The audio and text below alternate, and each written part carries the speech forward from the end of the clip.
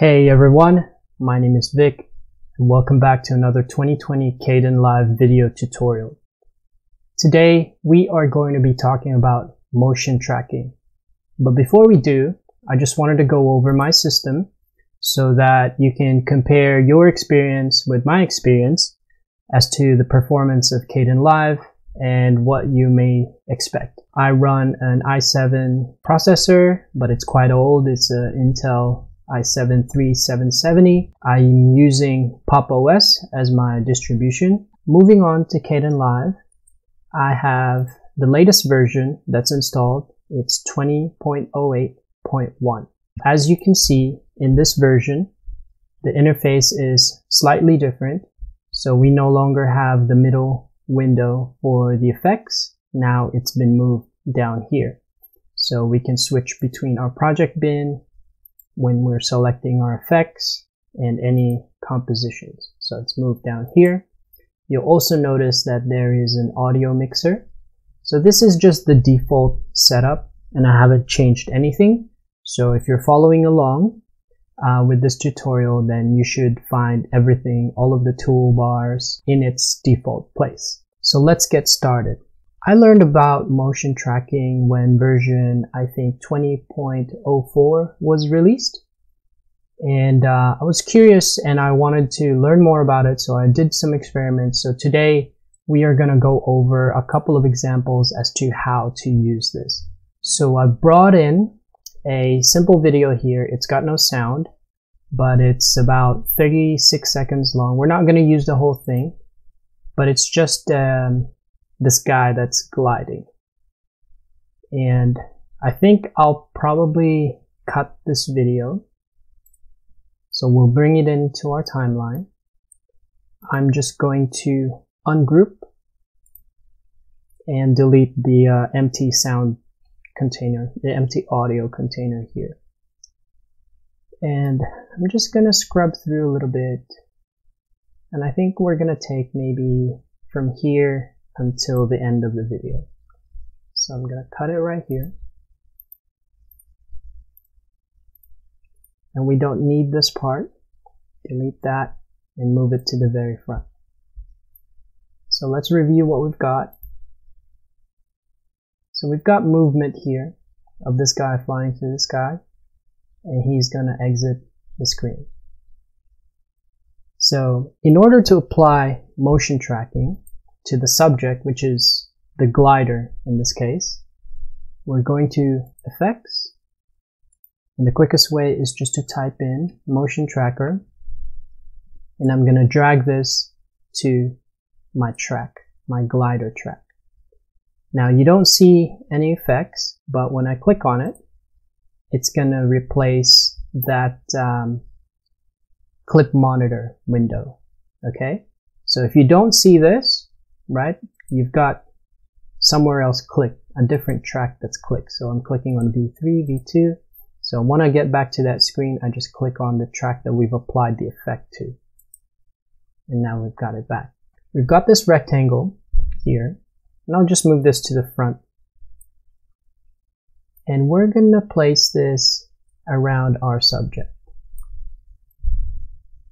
So I'm telling the program here that this is the subject that you need to track. We can choose our algorithm. I'm not exactly sure what the differences are, but in the Kdenlive example that I saw on their website, they used CSRT. So we'll go with CSRT. The frame shape, it's up to you. We can use a rectangle, which is already there. Or if you want, you can use an ellipse which you can see, or we can use an arrow, which is going to point down to the subject. What I'm going to do is I'm going to use an ellipse because it's going to be a lot clearer, and I'm going to increase this to 5 pixels, so it's a bit thicker. So we can see that we've enclosed our subject here. That's about right. I'm leaving all of the other settings at the default. So we haven't applied any motion tracking analysis yet. So what I'm going to do is I'm going to switch back to my project bin here so we can see that it's going to process this. So we'll click Analyze. and it's going to process our clip. So let's give it a second, depending on how big your file is or how difficult it is for the program to track your subject. So this might take a while.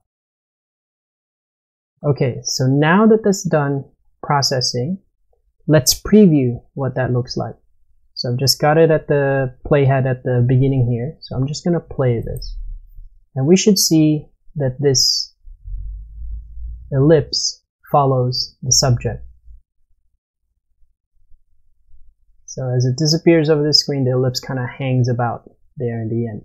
I forgot to mention the keyframe spacing.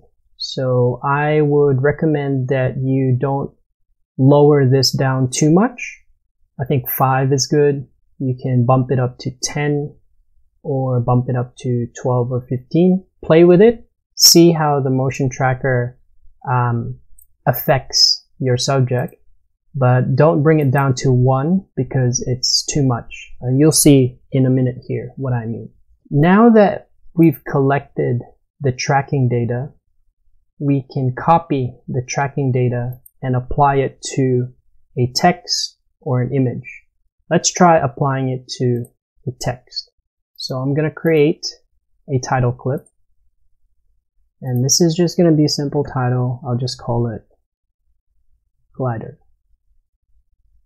I'm going to center that to the canvas and create title.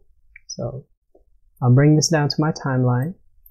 And what we're going to do is we're going to apply motion tracking to this so that the text glider overlays or follows where this um, ellipse is. So now, I am not sure if I've done it before, but what you do is you go back to your motion tracker, so clicking on my glider, copying the tracking data to the clipboard, going to my glider, now we can apply a transform effect. So I'm just typing in transform, dragging it down to the text here. So click on the text so we can see our transform effect. And what we'll do is click on the options and then import keyframes from clipboard. I'm just going to leave everything as a default. Click OK. And now we see our keyframes here that have all been added. So those are your motion tracking keyframes. So what we'll do now is I'm going to hide this. So click back to the motion tracker. I'm going to hide the ellipse, push it to zero. So it's hidden. And I'm just going to click on a empty track. I'll move the playhead back so that we don't see any of the, uh, the options. You know, uh, the tracking data, this messy stuff. So just going to click on an empty space and then press play. And as you can see, the text glider is following. And it's about roughly the same size as the glider as well. So that's pretty cool, right? You can use text. I'm just going to delete this. As another example, I'm going to bring in an emoji. So this is just an image file, whatever image file that you've got. So if you're trying to maybe hide a license plate number or, you know, hide someone's face and you want to easily do that, you can use motion tracking. So we've brought in the, the image here. So same thing, we'll go to effects, we'll apply a transform, and then from the transform, we can paste or import the keyframes. Leave everything as is, click OK, and there we go. So, click on an empty track, and let's press play. So now my smiley face is hiding my glider. Cool? Alright. So now, what if actually I want to make some adjustments. So we'll delete this for now. And what I'll do to demonstrate is I'm going to add an arrow image. Okay, I'll bring this down and I'll extend this out. Basically what I want is I want this arrow to be pointing at the glider, you know, as if to indicate like, you know, hey, this person's here. So we still have our data, our tracking data in our clipboard. So we can easily apply the transform and then same thing, import keyframes from clipboard. So it'll apply everything. I'll just let everything at a default here. There we go. Now move that playhead to the top. But we've got a problem because I don't want the arrow to be covering the glider. I want it a little bit offset and pointing down to where it is. So we can easily do that. Now if you notice, when we talked about keyframes before, I don't want you to set it down to one because you'll have so many keyframes here that if you wanted to edit it, it's just going to be too much to edit. So what I mean is, if you don't want to have too many of these to edit, you can adjust them here. You can increase this number. Um, so let's, let's actually try that. So what I'm going to do is I'm going to delete the transform. Okay. I'm just going to hide this for now so that we're not bothered by it. I'm going to reset the tracking data. I'm going to bump this up to 10 keyframes, which means it's going to take 10 keyframes analyzing the, uh, the motion of our subject. And I'm just going to switch back to my project bin here so we can see the processing time. I've hidden the, the, the ellipse, so we can show that back by putting it at 5 because we want to check. So let's go analyze. Now I've fast forwarded through that bit to make the video faster. So it's reanalyzed our tracking data. Let's go ahead and play just to make sure that it's still following. So it's still following our subject pretty well. Cool. I'm happy with that. So what I'm going to do is click back here. I'm going to hide the ellipse. So just set that to zero pixels. Okay. And I'm going to show my arrow again. Now, we want to show the arrow pointing. So same thing, we'll go to effects, we'll apply the transform, and we are going to just to make sure, I'm going to copy this again. So copy the clipboard and then import.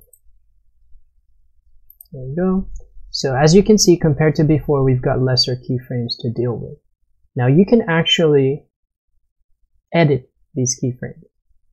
So we had a problem because we wanted the arrow to be pointing at the glider, not covering the glider.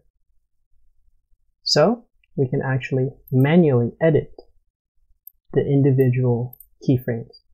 So it's already set to smooth, so that's great, so that the movement is smooth.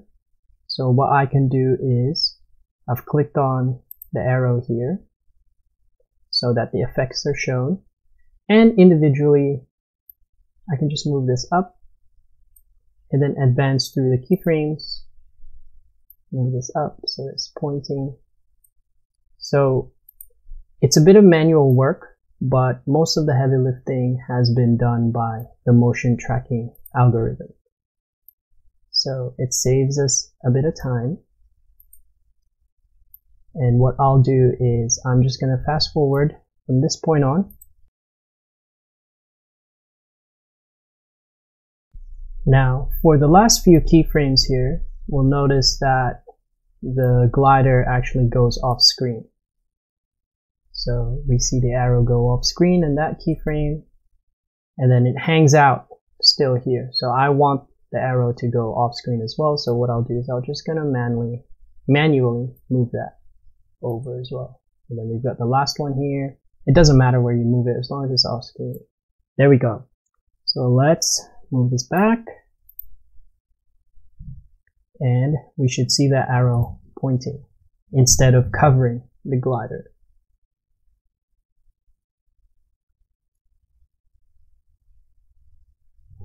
And there you go. Hopefully you found this video helpful.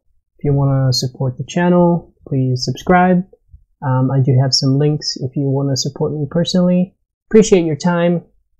If you've got any questions, then just type it in the comments. I'll be more than happy to try to answer your questions. Until next time, have fun. Hope you learned something today. I'll see you later. Bye bye.